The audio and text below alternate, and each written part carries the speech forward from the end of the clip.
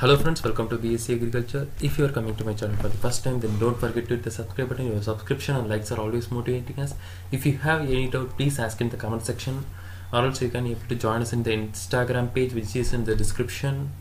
So let's move to the video. In this video, we are going to see about fundamentals of entomology. I am going to cover the respiratory system in insects.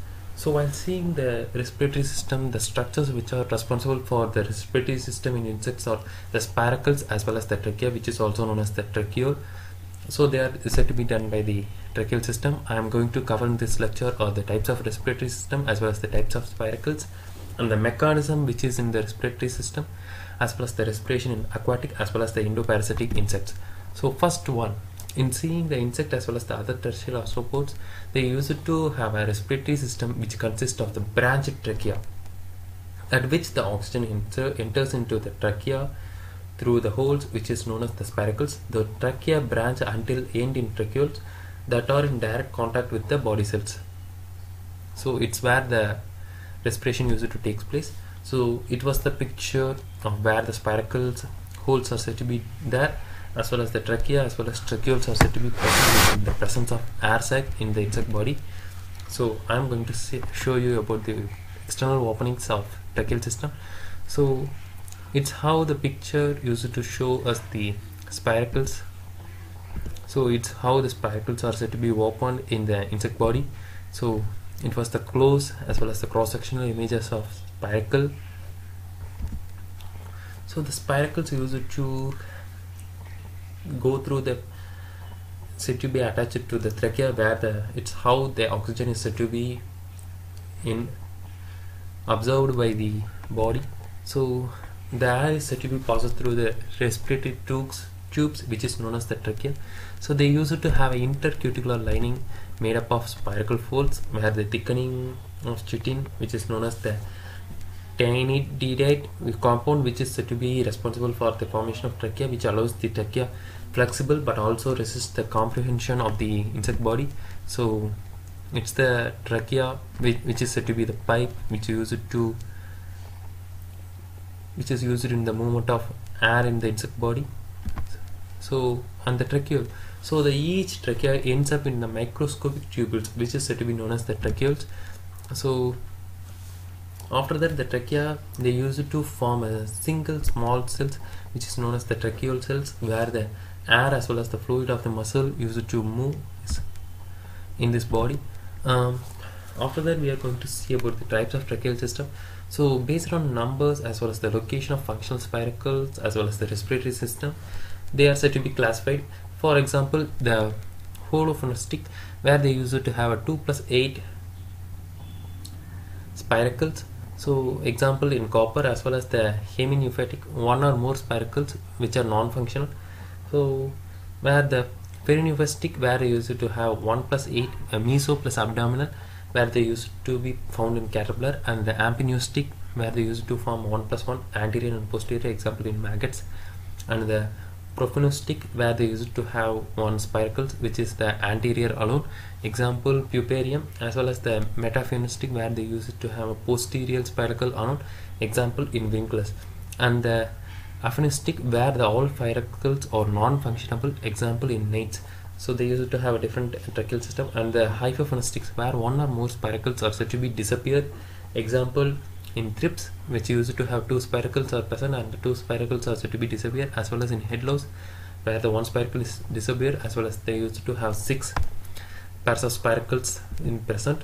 So while seeing the types of spiracle the spiracle which is present in uniform is grasshopper is said to be known as uniform spiracle sorry. As well as in click beetle they use it to have a biforous spiracle they where there is a portion wall in between the spiracle which is termed as peritomy and and the triforous or pyriform spiracle where they use it to have peritomy as the secretory organ where they use it to classify the spiracle into three shape.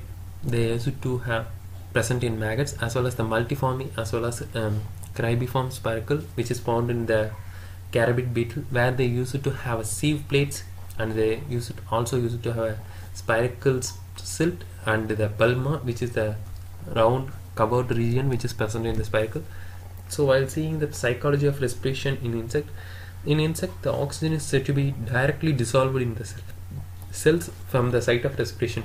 So the insect does not need to carry oxygen for the process of respiration so it's the dorsal view as well as the ventral region of respiratory region. So while seeing the physiology of respiration they used to have a dorsal vessel as well as the multi-layer of gut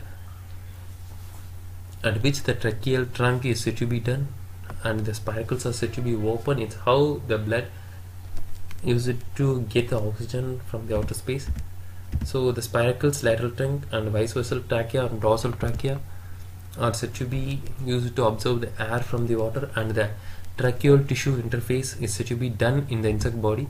So the diffusion of gases which is done in the insect body is said to be the passive diffusion of gases. So the O2 diffuses uh, from tracheoles into hemolymph from a high concentration of O2 to a low concentration of oxygen. So the carbon dioxide produced by cell respiration which is said to be passively diffused from the blood to the cells so of the tracheole where with the high concentration of CO2 to the lower concentration of CO2 they use it to have a passive movement of air regulation at first the outside air used to enters into the spiracle openings and then move to the trachea as well as it moves to tracheole and finally to the body cells. After that the CO2 is said to be moved to its tracheoles and it goes for trachea and to the spiracle opening and it went outside the air. So it's how the whole respiration process takes place. While seeing the respiration in aquatic insects they used to have a closed tracheal system. So the cutaneous um, gases of exchange is mainly done in the insects aquatic insects are mainly done by the gills which is um, said to be known as tree-sheeted thin outgrowth of the body wall. So the laminated gills are said to be present in mayfly as well as the filamental gills are said to be present in damsel naiads as well as the rectal gills in dragonfly uh, naiads.